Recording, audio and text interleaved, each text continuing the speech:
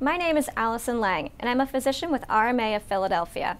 I grew up in San Diego, California, and was used to beautiful days full of sunshine.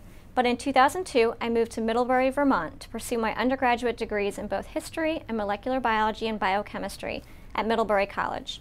I was looking forward to seasons, but I have to say that first winter was a bit of a shock to the system. I later moved to Richmond, Virginia, where I completed my medical degree at Virginia Commonwealth University before venturing off to Atlanta, Georgia to complete my OBGYN residency at Emory University. I was then off to Boston, Massachusetts for my REI fellowship at Massachusetts General Hospital. After completing my fellowship, I began looking for a practice that was both committed to world-class patient care and investment in research and innovation. I found that at RMA of Philadelphia. It was during my second year of medical school when I became fascinated with the endocrine system and working with people to help them realize their dreams of starting a family. It's something that will impact these patients for the rest of their lives, and it's an incredibly satisfying experience for everyone involved, from the nursing staff that sees them during monitoring hours to the embryologist who takes care of the embryos.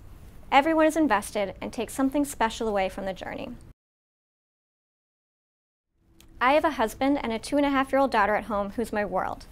To be able to help another couple achieve their dream of parenthood just fills me with joy. I'm so happy to be a part of RMA of Philadelphia and the IVI-RMA network. Our IVF success rates are above the national average and we handle each and every patient with a hands-on approach to make sure they're comfortable and confident during their time with us.